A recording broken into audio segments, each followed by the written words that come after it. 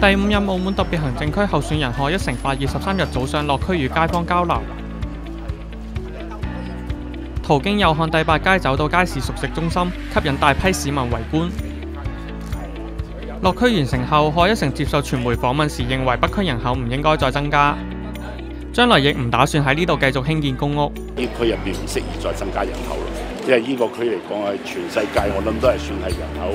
嘅比例密度係最高嘅一個區嚟嘅。呢區唔應該再有公屋項目。呢區我成日啲都市更新嘅意思嚟講，即係你係原來有幾多面積，啊俾佢係咪寬鬆少少又好，大啲咗，但係人口一定係可以再增加。呢區唔應該再升，再再增加人口啦，因為呢區嘅人口真係太太高。另外亦有談及都市更新問題，海一成表示呢件事一直係政府想做嘅，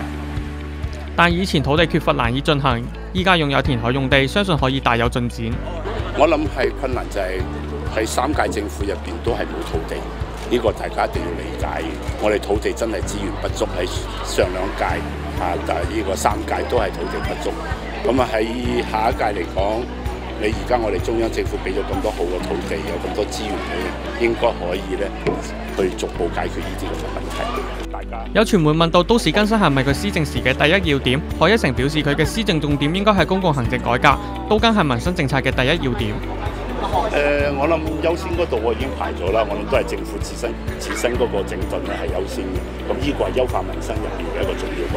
其一一環嚟嘅。啊，呢、這個唔可以話淨係為咗都市更新擺喺第一句。咁我哋要做好我哋自己本身政府嗰個改革啊等等，咁你先可以好多事情咧先會順。